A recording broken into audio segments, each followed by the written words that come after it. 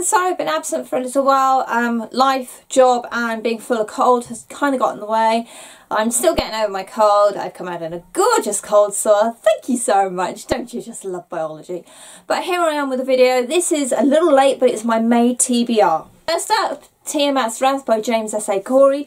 This is book 8 in the Expanse series. Um, I haven't got very far in it this week because I keep falling asleep. So I'm currently on catch up, but we're already quite happily ploughing our way through. Love this series. If you want something meaty, fun, character driven in space, the Expanse series is brilliant. Leviathan Wakes is the first one.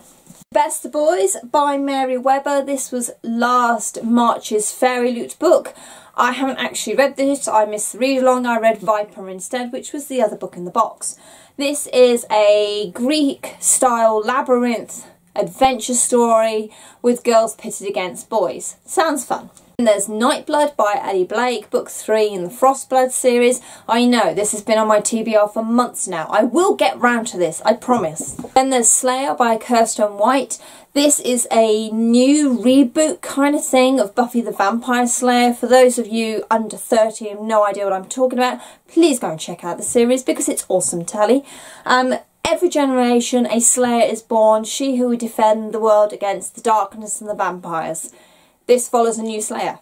And then the next three books I've actually already read this month. So I had Norse Mythology by Neil Gaiman. This is a kind of a retelling of some of the original stories from Norse mythology, specifically following the likes of Thor and Loki. The Girl King, my Mimi Yu.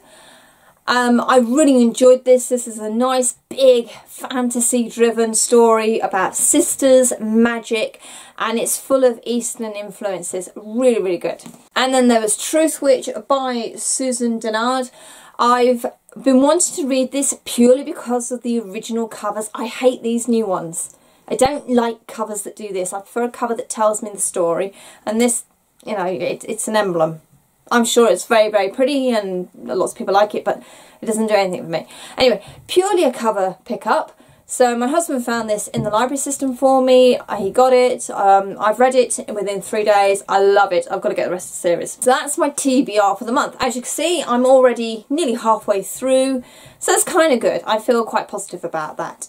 Certainly with my new job, I'm on the bus for about an hour each way. So I get a lot of reading done, which is really nice. Um, I'm also being given lots of books to read because I've being a school librarian, I kind of need to know what we've got in stock. So my boss has been um, giving me books to try and see what I think of. And I've read so many books recently. It's incredible and really nice. So there we go. What are you reading this month? Let me know. Links to your TBRs down below, please. Um, you can find all my social media and book blog links in the description box. And you can find a link to a small booktuber that I think you should go and check out. As always, thank you very much for watching and happy reading. Bye.